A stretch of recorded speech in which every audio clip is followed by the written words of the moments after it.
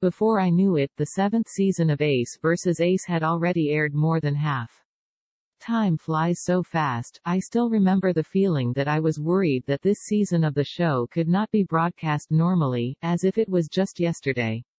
In other words, this is still a three-time extension in the middle of the fourth and fifth issues, otherwise it will be almost over now. Since the season aired, the show's ratings have arguably been way ahead of its competitors.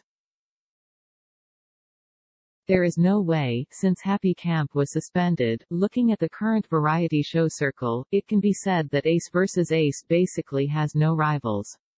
Of course, this is only the current state, and it will be hard to say in a few days, because Longing for Life has been officially announced.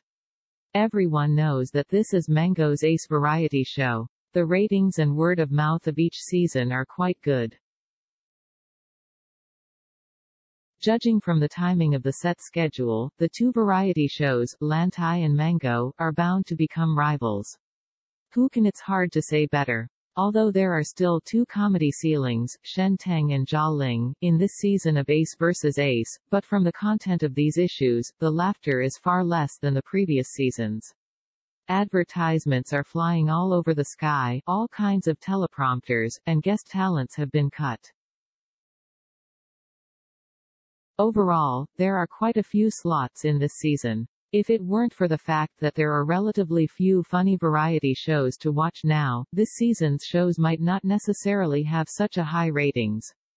After Wu Tong came forward to respond to these things, there were still some improvements in the advertisements and guest shots of the two episodes.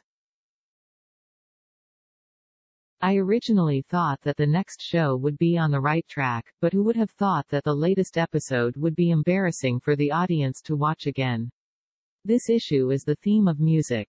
The program team invited five singers, Yang Kun, Zhang Xiaohan, Jike Junyi, Liang Long, and Wang Sulong as guests. To be honest, such a lineup of guests is relatively luxurious, whether in terms of strength or popularity, it is considered that the wrong person has been invited. In the just concluded Flashing Band, Yang Kun, Jike Junyi, and Liang Long all conquered many audiences with their wonderful performances. In the now popular Voice of God, Angela Chang, Jike Junyi, and Liang Long's performances are also popular.